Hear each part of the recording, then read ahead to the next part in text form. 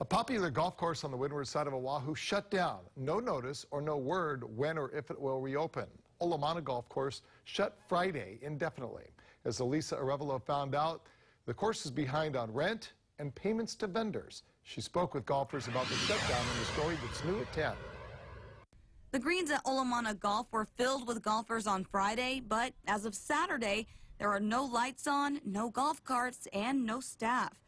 Sources within Olomana tell us the course is closed indefinitely, and it's not clear if it will reopen. This is a really local golf course that, you know, it serves the community, and we have all our kids here, and it's just a sad thing that this is going to happen. Casey Nakama has run the junior golf program at Olomana for 20 years. And then on the fourth hole, um, I hit it by the bunker.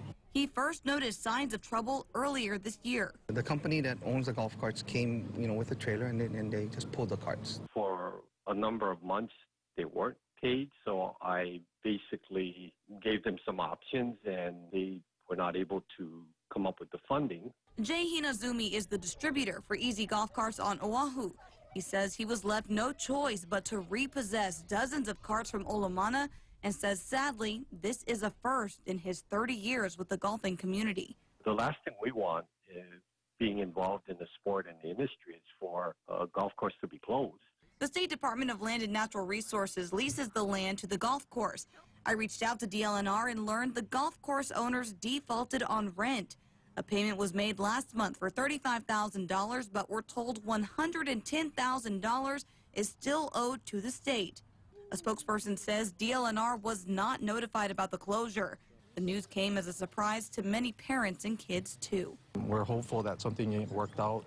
Uh, the right parties will step in and, and, make sure that the bigger picture is uh, taken into an account.